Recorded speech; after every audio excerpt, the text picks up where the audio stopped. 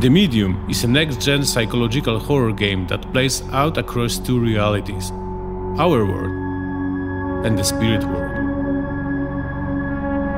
Thanks to the power of the hardware, you will be able to play in both worlds at the same time. Let's see how it works in action.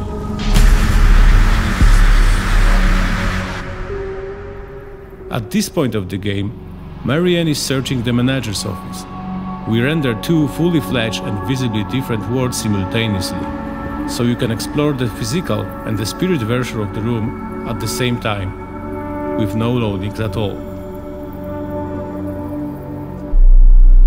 Thanks to the medium sense, you can see a secret passage behind the cabinet.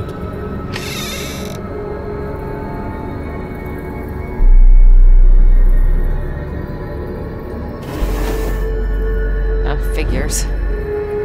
There's gotta be a way to power it up. Let's see how you can use the interactions between the realities to open the entrance.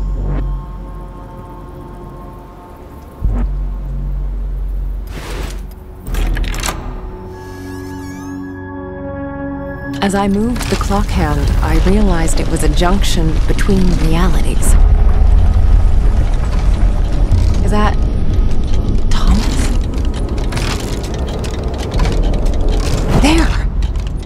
Looks like a passage.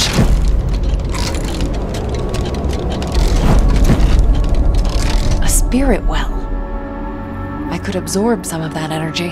Energy spots like this one let you recharge Marianne's psychic abilities. Okay, let's rewind to the opening. The entrance has opened in the spirit world, but the real world Marianne still can get in. Marianne's unique psychic ability, the out of body, lets her leave her physical self to explore the spirit world more freely.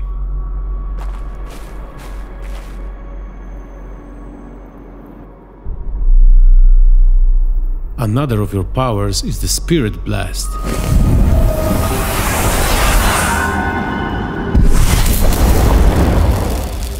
Can use this energy against hostile spirits, but also to charge up real world electrical objects.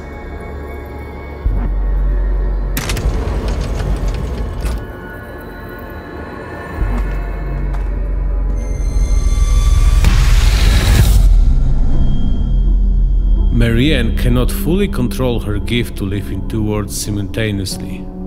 What? What the fuck is this? Throughout the game, you will get to experience the words in various combinations. And you will never know which word will draw you in next.